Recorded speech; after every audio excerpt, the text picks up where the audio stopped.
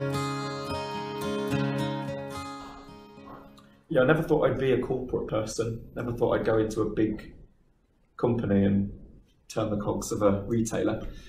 And the reason why that is is because I always thought I'd follow my passions and my creativity, and I actually get to do that in the organisation I work in for in a number of ways. Do lots of music with, for them and with them, but I also do a lot of stuff for diversity and inclusion, uh, and it's not just segregated to LGBT stuff. I'm an ambassador for the LGBT committee and the group, which spans across the whole organisation. We've got about 5,000 members, which for a company that has 85,000 people in it is pretty good. Um, I'm an ambassador for the Gender Equality Network as well, which used to be the Women's Network, and then we realised that we were only getting women to the events and realised that wasn't really the audience we most needed to reach if we were going to make a difference on gender equality. And I'm also uh, an ambassador for the Working Parents Network as well, because we've got collectively around 35,000 working parents that work for the, co the company, all with their different issues and challenges. And some of those parents will also be raising LGBTQ kids. So that's really important for me to be able to interact with them to understand how they're dealing with that and if they need support. Um, one of the biggest things that's important for me is, is for people to feel comfortable being who they are. So with Pride, we have big events across the organisation. We march at London Pride, we march at Manchester Pride, we march at York Pride, and we march at Brighton. And there's quite a lot of cynicism out there about companies using Pride as marketing material. And there is a side to that that I kind of understand, but that's not the reason I do it through the business I work in.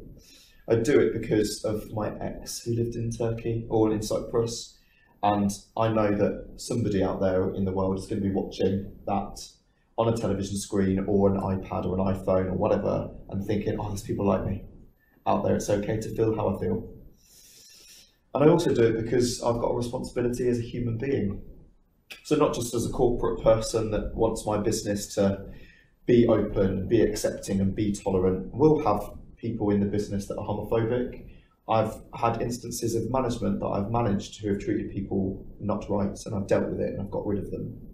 I've had customers saying that they don't want their fish served by that person because that person is clearly not straight, and that person has that customer's been banned from my shop because I I'm not I don't want their money because I don't want that kind of attitude in my shop and I don't want my members of staff to feel threatened in their workplace. So I have a responsibility as a manager and a leader to make anybody feel welcome in the organisation and for them to know that if they experience homophobia, that I'm going to deal with that and I'm going to I'm, and I'm going to make it sure that even if it's from a member of staff or a customer, I'm not going to tolerate it and I'll deal with it. But then as a human being, we all have a responsibility for each other. We live in a society, we all support each other. And I just think it's not good enough for me to just sit back and let every, everybody else do it.